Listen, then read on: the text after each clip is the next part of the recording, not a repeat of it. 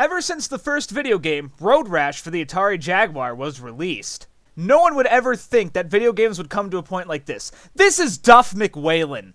Duff McWhalen is a clear reference to Guns N' Roses. And you know what and you know what Guns N' Roses have to do with Mega Man? Nothing. It has nothing to do with Mega Man. His name is Duff McWhalen. His stage is an underwater scrolling stage. So already you have a scrolling stage and an underwater stage. And his name is Duff McWhalen, by the way.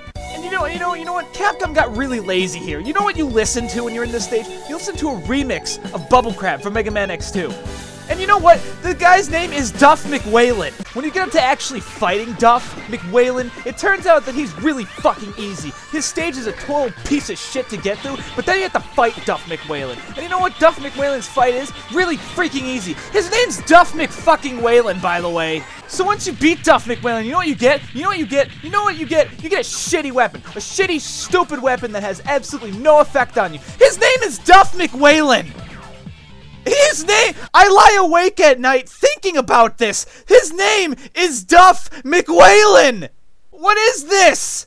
His name is Duff McWhalen.